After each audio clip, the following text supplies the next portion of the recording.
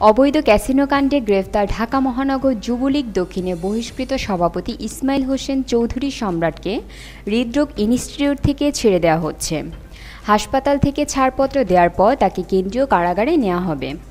ঢাকা কেন্দ্রীয় কারাগারের কারাধ্যক্ষ মাহবুবুল ইসলাম গণমাধ্যমকে এ তথ্য নিশ্চিত করেছেন। হৃদরোগ ইনস্টিটিউট সূত্র জানিয়েছে, শনিবার সম্রাটকে তারা হাসপাতাল থেকে ছেড়ে দেবে। এর আগে গত মঙ্গলবার সম্রাট অসুস্থ হয়ে পড়লে চিকিৎসার জন্য তাকে কেরানীগঞ্জের কেন্দ্রীয় কারাগার থেকে ঢাকায় আনা হয়। প্রথমে তাকে ঢাকা মেডিকেল কলেজ হাসপাতালে জরুরি বিভাগে নেওয়া হয়। সেখান থেকে সম্রাটকে হৃদরোগ ইনস্টিটিউটে পাঠানোর পরামর্শ দেন চিকিৎসক। Ratna Jahan news desk, channel three